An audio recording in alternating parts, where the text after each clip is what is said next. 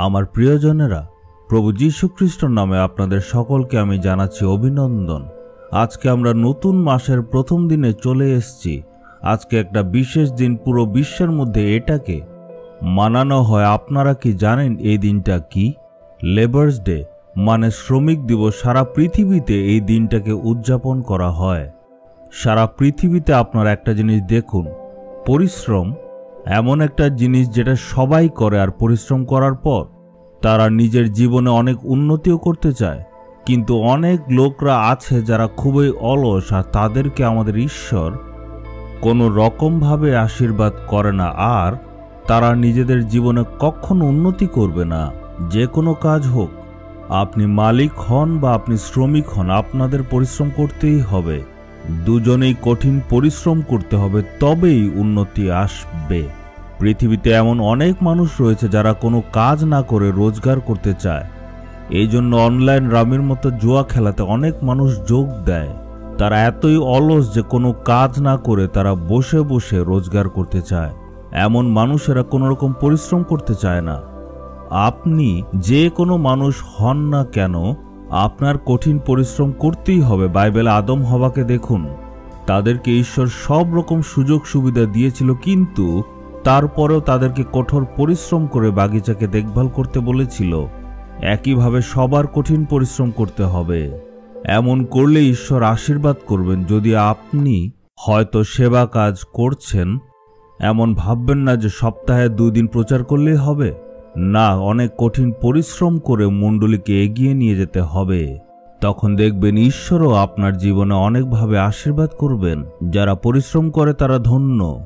আমরা দেখব ঈশ্বর তাদের জন্য কি প্রতিজ্ঞা রেখেছেন যারা অনেক পরিশ্রম করে।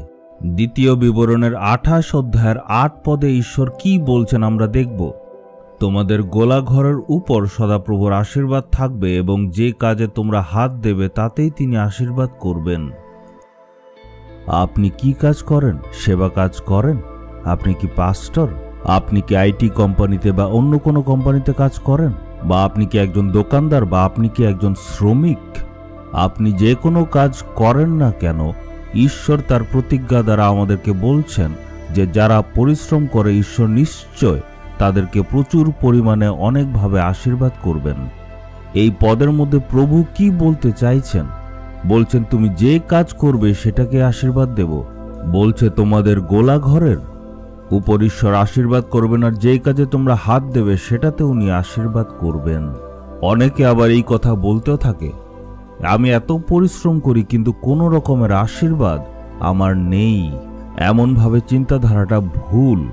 এর কারণ হচ্ছে ঈশ্বর তার ভাণ্ডার থেকে আপনাকে প্রচুর আশীর্বাদ দেবেন। এই পৃথিবীতে যারা যারাই পরিশ্রম করে থাকে, ঈশ্বর বলছেন তার আকাশের ভাণ্ডার থেকে তিনি তাদেরকে অনেক আশীর্বাদ করবেন। আমি আমার সেবা কাজে অনেক কিছু দেখেছি। আমি অনেক বড় বড় ব্যবসায়ীকে দেখেছি। তারা এত বড় ব্যবসায়ী, তাদের নিচে অনেক মানুষ কাজ করে। পঞ্চাশ, একশো এতগুলি শ্রমিক কাজ করে। আমি সেই মালিকদের সাথে কথা বললাম আর জিজ্ঞেস করলাম, কীভাবে এইসব করলেন? তারা তখন আমাকে বলল, প্রথমের দিকে শুধু একজন মানুষ ছিল। ওই সময় তারা মাত্র দুজন মিলে অনেক পরিশ্রম করল, কাজ করল। ওদের অভিজ্ঞতার থেকে আমাকে বলল, আমরা অনেক ভোরবেলা উঠে কাজ শুরু করতাম রাত এগারোটা পর্যন্ত। এগারোটার সময় সব হিসাব শেষ করে তারপর বাড়ি যেতাম আর গিয়ে সেখানে প্রার্থনা করতাম। আবার পরের দিন ভোরবেলায় চারটার সময় আমরা চলে আসতাম। আর এখন দেখুন, পরিশ্রমের ফল হিসাবে তাদেরকে ঈশ্বর কত পরিমাণে আশীর্বাদ করলেন। আর শুধু তাই নয়, তারা যে ব্যবসা শুরু করেছে, তারা তাদের যে শ্রমিকরা আছে, তাদের জন্য তারা আশীর্বাদ স্বরূপ হয়েছে। কারণ এখানে কাজ করি, তারাও রোজগার করে। এইভাবে ঈশ্বর তাদেরকে আশীর্বাদ করেছেন। এমন অনেক মানুষ আমি দেখেছি, তাদের সাক্ষ্য আমি শুনেছি। এর মানে ঈশ্বর যে প্রতিজ্ঞা করেছেন এই হিসাবে যারা যারাই পরিশ্রম করে, উনি সকলকে অনেক আশীর্বাদ করেন। করোনার যে মহামারী ছিল, তখন আমি তাদেরকে ফোন করেছিলাম। তারা বলল যে, এখন ব্যবসা আরও ভালো চলছে। অনেক শ্রমিক আরও বেশি পরিমাণে আমাদের কোম্পানিতে এসছে। ঈশ্বরের আশীর্বাদে তারা নতুন গাড়ি নিতে পেরেছে, নতুন জায়গা ওরা কিনেছে। এর মানে কঠোর পরিশ্রমের ফল ঈশ্বর নিশ্চয় দেন। তেমনি আমাদেরও কঠিন পরিশ্রম করতে হবে। লকডাউনের সময় ওয়ার্ক ফ্রম হোম সিস্টেম চালু হয়েছিল। এখানে মানুষ বাড়িতে বসেই কাজ করতো আর এর জন্য ওরা অলস হয়ে গিয়েছিল। কোনো ব্রাশ করতো না, স্নান করতো না, শুধু বসেই থাকতো। পরিষ্কার, পরিচ্ছন্ন থাকতো না, অলস হয়ে গিয়েছিল। আমি একবার একটা যুবককে দেখেছিলাম, দেখতে খুবই সুন্দর, চেহারা একদম সুন্দর, কিন্তু সে এত অলস হয়ে গিয়েছিল যে তার দাড়ি লম্বা হয়ে গিয়েছে, স্নান করার সময় নাই, সে বলছে, আমি তো খুবই ব্যস্ত, আমার সময়ই নেই। কিন্তু আসল কথাটা হচ্ছে, সে এত অলস, তাই এইসব করছে না। সকালে উঠে কাজে যাওয়ার আগে প্রস্তুতি নিতে হবে, স্নান করতে হবে। এমন করলে তখনই আপনি যা কাজ করবেন, ঈশ্বর আশীর্বাদ দেবেন। আপনি দেখবেন আপনার দ্বারা অনেক মানুষ আশীর্বাদ পেয়েছে।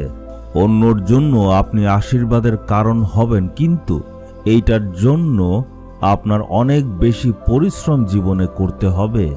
আজকে আপনি যদি কোনো শ্রমিক হিসাবে কোনো একজনের নিচে কাজ করেন, আপনি মন দিয়ে সেখানে কাজ করুন। আপনার অনেক পরিশ্রম করতে হবে আর মনে আনন্দ রেখে কাজ করতে হবে। মনের মধ্যে কুড়কুড়ামি করলে হবে না।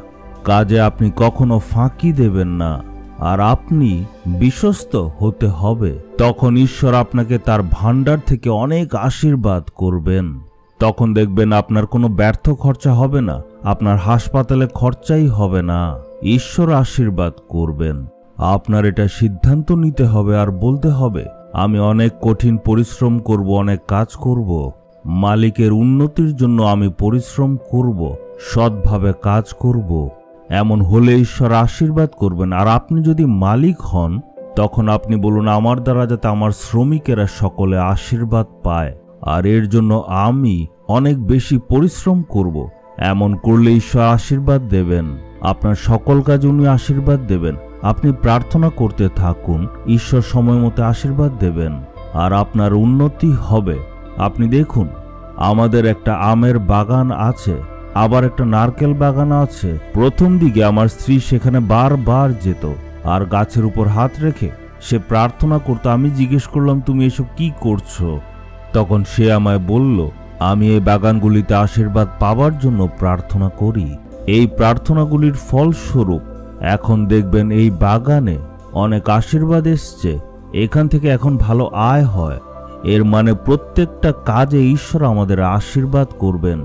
হে পিতা ঈশ্বর, আজকে আমরা প্রার্থনা করি, যারা যারা পরিশ্রম করছে, হয়তো আইটি ফিল্ডে বা অন্য কাজে, বা হয়তো ব্যবসা করছে, বা হয়তো চাকরি করছে, বা শ্রমিক হিসাবে কাজ করে বা খেতে অনেক পরিশ্রম করে তাদের সকলকে আপনি আশীর্বাদ দিন প্রভু। তাদের অভাব দূর করুন। আজকে যারা যারা অনেক কঠিন পরিশ্রম করছে, যারা আপনার উপর বিশ্বাস রাখে, আপনার উপর আস্থা রাখে, তাদের জীবনে দয়া করে ঈশ্বর প্রচুর পরিমাণে আশীর্বাদ দিন।